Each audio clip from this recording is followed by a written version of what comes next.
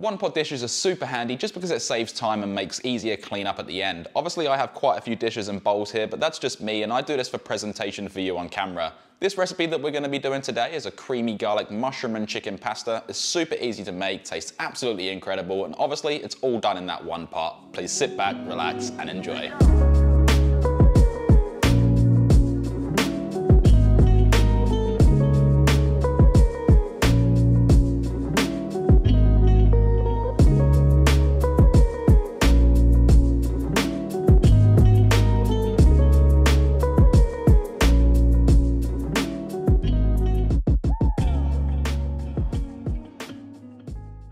Alright guys, starting us off, we're going to need 750 grams or 1.65 pounds of boneless and skinless chicken thighs to which we can place whole into a mixing bowl and add in half a teaspoon or 0.5 grams of dried basil, half a teaspoon or 0.5 grams of dried thyme, 1 teaspoon or 2.5 grams of onion powder, 1 teaspoon or 2.5 grams of garlic powder, season with sea salt flakes to taste, and of course some cracked black pepper, 10 cracks worth. Let's then get our hands in there to massage our beautiful thighs, ensuring everything is well coated and all of the dried herbs and spices add a nice concentrated herby garlicky flavour, making it cheaper than using fresh herbs. As for the veg prep, get yourself one large brown or yellow onion that's been peeled, leaving the root on and saving the scraps for a stock. This can then be sliced in half through the root and make thin slices across, stopping just before the root, which will allow this to hold together. Slice it through the middle horizontally to break up the formation, and yes, it does work before anyone says it doesn't. Then come through and dice this into nice small even sized pieces, also removing as much of the flesh from around the root to avoid waste and save the root for a stock.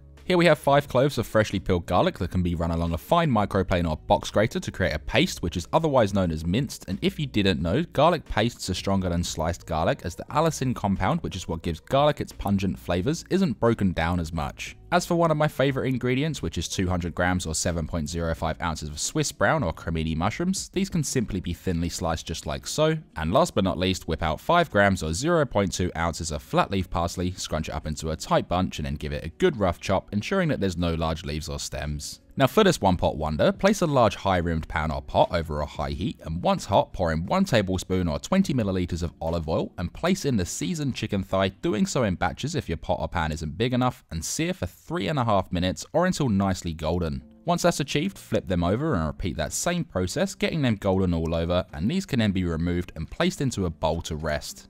Now with the pot or pan over medium-high heat, add in 1 tablespoon or 14 grams of unsalted butter along with 2 teaspoons or 10 milliliters of olive oil to help prevent the butter from burning and add in the diced onion to which we can saute for 3 minutes, moving it regularly and this is going to start pulling up that beautiful flavour on the bottom of the pan. Next add in the minced garlic, breaking it up and saute for 45 seconds, mixing it around the whole time so it can gently release its flavour into the onions. Add in one quarter of a cup or 60 milliliters of white wine or chicken stock if you can't consume alcohol and mix this through for one and a half minutes to deglaze the pan, bringing up all of that delicious flavor which will build a foundation for our next ingredients. The thinly sliced mushrooms can then be introduced along with 1 teaspoon or 5 grams of sea salt flakes or to taste, then mix this through and continue sauteing for 4 minutes or until the mushrooms are golden and soft, releasing their moisture, also mixing this around regularly. Pour in 1 litre or 4 cups of chicken stock, which is going to be the depth of our sauce, and the liquid to cook our pasta, also adding in 500 millilitres or 2 cups of thickened cream to give the sauce an amazing flavour and texture.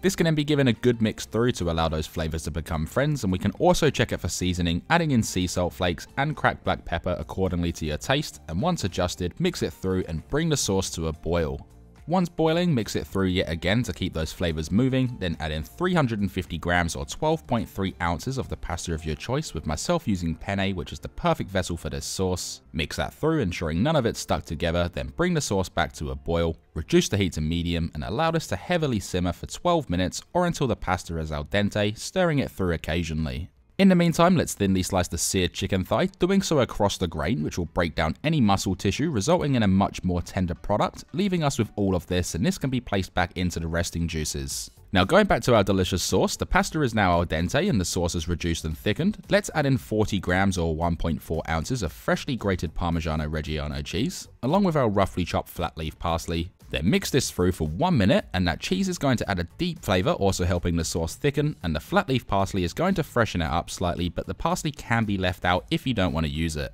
One minute later, add in 120 grams or 4.2 ounces of baby spinach to add a little bit of nutrition, and this is optional if you think green stuff in your food is yucky. Mix this through until it just starts to soften, and then the pot or pan can now be turned off the heat. Last but not least, add in the thinly sliced chicken thigh along with any resting juices for extra added flavour, and give this one final mix, ensuring everything is well coated in the sauce. Check it for seasoning, adjusting to your taste, then remove this from the stove top. As for serving it up, pile it up into some nice bowls and this recipe will easily serve 4 people. Grate over some Parmigiano Reggiano cheese for that nice little garnish, drizzle over some extra virgin olive oil and then hit it up with some cracked black pepper for that finishing touch, leaving us with this beautiful and delicious creamy garlic mushroom and chicken one pot wonder, allowing us to jump into the best part, which is that we can then dig in.